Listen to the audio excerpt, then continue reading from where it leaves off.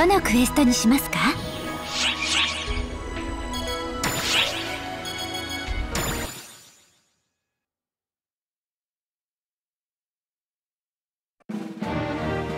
皆さん第六使徒殲滅作戦成功。お疲れ様でした。やりましたね美里さんシンジさん。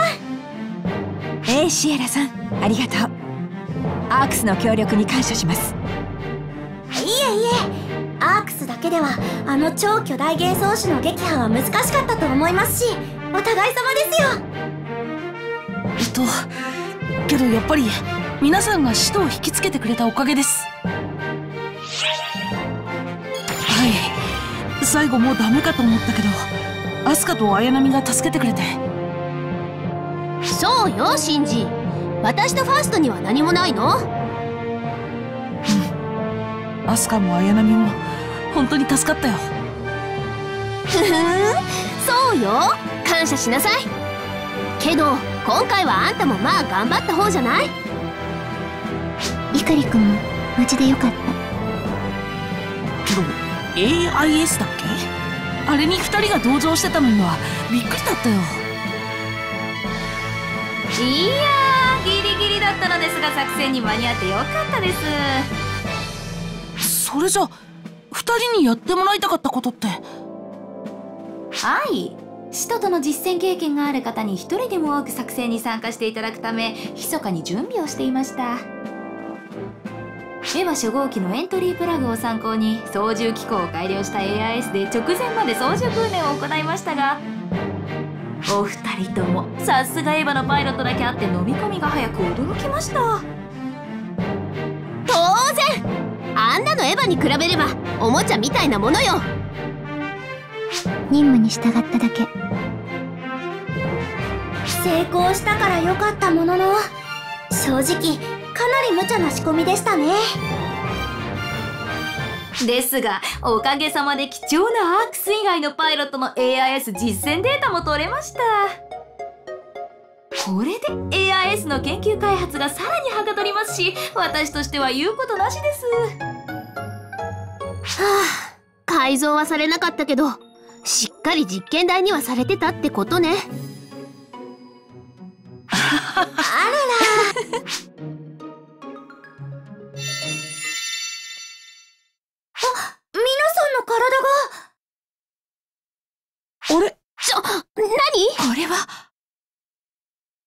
どうやらそろそろお別れみたいですね。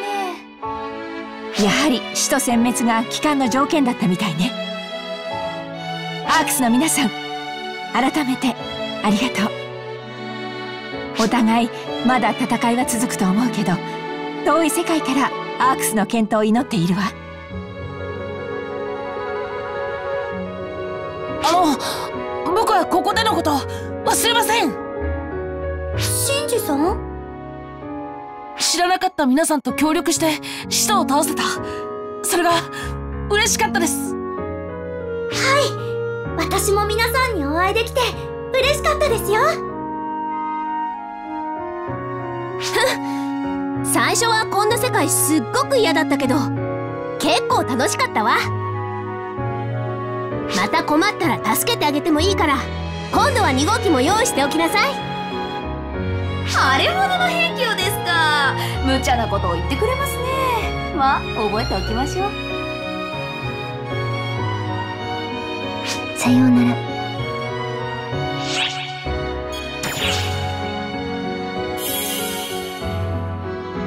はあ。皆さん戻られたようですね。シエラさん？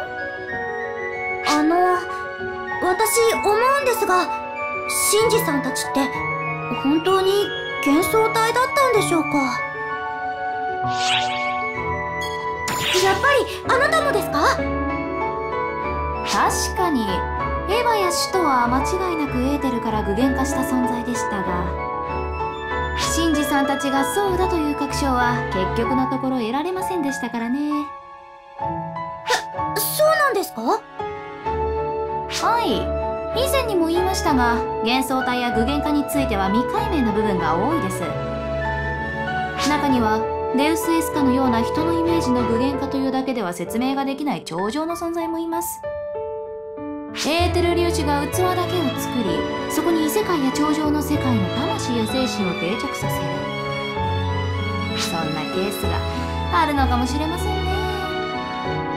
じゃあシンジさんたちは本当に？あいえ。研究者らしからぬ非現実的な発言でしたね。忘れてください。はあそれにしてもまたお会いできる日が来るといいですね。あそうだ。今度エヴァンゲリオンの新作が公開されたら地球に見に行っていいかシャオに聞いてみましょう。棺さんたちも誘って。もちろんあなたも一緒ですからね